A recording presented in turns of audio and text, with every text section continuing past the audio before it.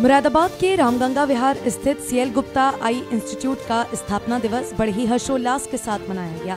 साथ ही संस्थान में सहयोग करने वाले सभी कर्मचारी और विद्यार्थियों को भी सम्मानित करने के साथ शुभकामनाएँ दी गई स्थापना दिवस के अवसर पर मुख्य अतिथि एलडीएम विशाल दीक्षित एवं समस्त सीएल गुप्ता मैनेजमेंट तथा डॉक्टर स्नेह ने अपनी उपस्थिति दर्ज कराई। कार्यक्रम का शुभारंभ माँ सरस्वती के सम्मुख दीप प्रज्वलित कर किया गया। इस अवसर पर रंगारंग कार्यक्रम के साथ सभी विद्यार्थियों ने संदेश देने का काम किया और संस्थान के सभी कर्मचारी और अधिकारियों को सम्मानित करने के लिए कार्यक्रम आयोजित किए गए। स्कूल ऑफ़ ऑप्टोमेट्री का प्रथम बैच की ग्रेजुएशन सेरेमनी इस कार्यक्रम का मुख्य अंग रही। प्रथम स्थान पर सना परवीन, द्वितीय आफरीन खान एवं तृतीय महिमा जोशी रही। कार्यक्रम को श्री लवी ने कोरियोग्राफ किया एवं गरिमा सिंह ने कार्यक्रम का संचालन किया। कार्यक्रम को संबोधित करते हुए शिखा गुप्ता ने कहा कि आज हम संस्थान की तेरहवीं वर्षगांठ मना रहे हैं। इन सालों में सभी का भरपूर योगदान रहा।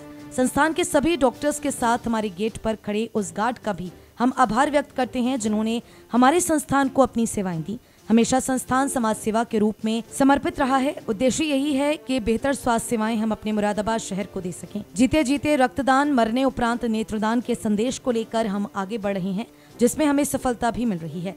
सीएल गुप्ता आई इंस्टीट्यूट का ये मकसद है कि हम ऐसे व्यक्तियों की रोशनी बने जो अंधकार में जीवन बिता रहे हैं।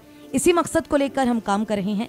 कार्यक्रम को संबोधित करते हुए शिखा गुप्ता ने कहा, सबको, मैं सबको बहुत शुभकामनाएँ, बधाइयाँ देती हूँ। और ईश्वर से प्रार्थना करती हूँ, जो हमारा ये तेरह वर्षों का एक यात्रा रही है, जिस प्रकार हमने इसमें नए आयाम स्थापित किए हैं, आगे भी भविष्य में ऐसे ही हम आयामों को स्थापित करते रहे। सबसे बड़ा एग्ज़ाम्पल सन 2012 में हमने अपने संस्थान को डॉक्टर अब्दुल कलाम जी के कर कमलों के द्वारा राष्ट्र को समर्पित किया था। उसके बाद हमको सन 2015 में इस नेत्र संस्थान की कम्युनिटी सर्विसेज़ के लिए, जो उस समय हमारे उत्तर प्रदेश के राज्यपाल थे, उनके द्वारा हमें एक्वाइन अवार्ड से सम्मानित किया गया था।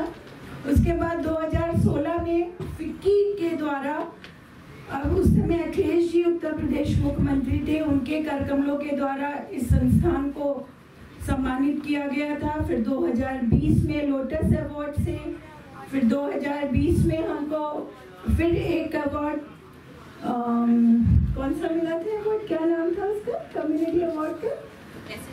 एसन शाह तो अभी मिला है। सन 2021 में जो हमारा ये सबसे बड़ा अचीवमेंट है, ये सिलीगुड़ी में डब्ल्यू के द्वारा जो एक इंटरनेशनल एनजीओ है हमारी विजन 2020 उसके द्वारा एक बार फिर से पूरे भारतवर्ष में मुरादाबाद सीएल गुप्ता नेत्र संस्थान को कम्युनिटी सर्विस के लिए सम्मानित किया गया है। इस पुरस्कार को लेने हमारी इंस्टीट्यूट की vice president doctor Ashi Khurana हमारे आउटरीच के स्टाफ वहाँ गए थे और उनको सम्मानित किया गया।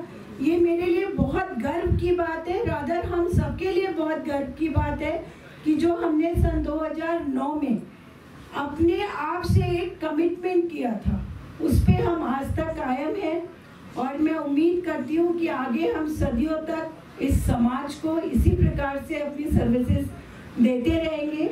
और इसी कड़ी में मैं कहना चाहती हूँ कि हमने सन 2009 से 2022 तक पिचासी गाँवों को अंधता मुक्त निवारण किया, जो कि एक बहुत बड़ा अचीवमेंट है।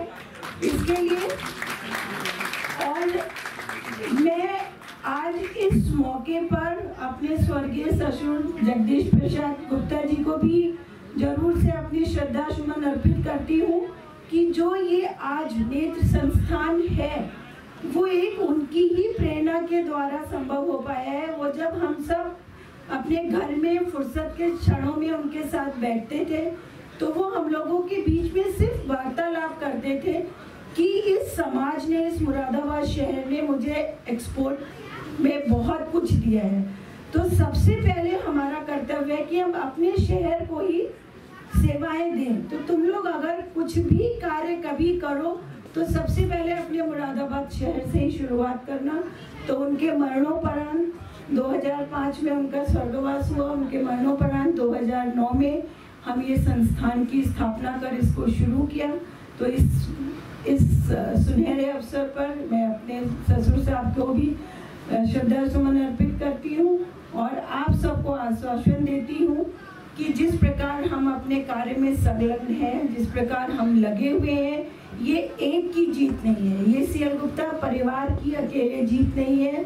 इसमें मेरा सीएल गुप्ता नेत्र संस्थान के सारे डॉक्टर्स पैरामेडिकल स्टाफ और जो जूनियर स्टाफ है, चाहे वो मेरे गार्ड हो हाउस कीपिंग हो कैंटीन हो ईच एंड एवरीबडी उसका इसमें एक डेडिकेशन है। उनका इस, कहते हैं ना, इस यज्ञ में वो अपनी आहुति दे रहे हैं।